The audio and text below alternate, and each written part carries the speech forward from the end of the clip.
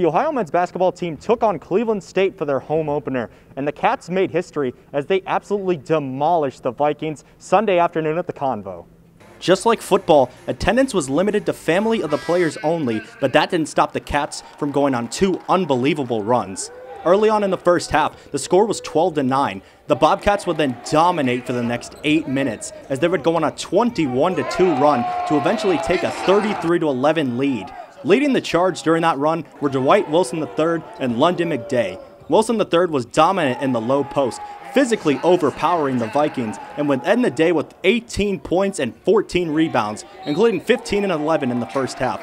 As for Meet Me at the London, McDay, he had 15 in the first half as well and would knock down three trays. He would finish with a team high 20 points on the afternoon, a new career high. After Cleveland State made it a 46 25 game with 141 left in the half, the Bobcats would absolutely explode.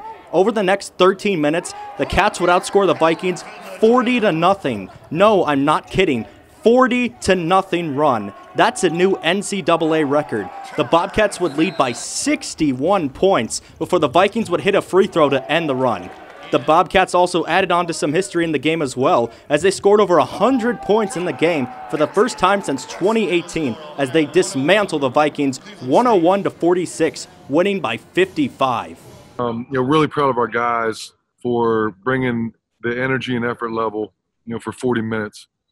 And that was one big thing coming into the game. We were really concerned about with Cleveland State is, you know, they couldn't come in here and exceed our energy or, or effort level. And the Bobcats will be back in action next Sunday when they take the short trip down to Huntington to take on Marshall. Once again, reporting from the Convocation Center for Bobcat Showcase, this has been Joe Collins.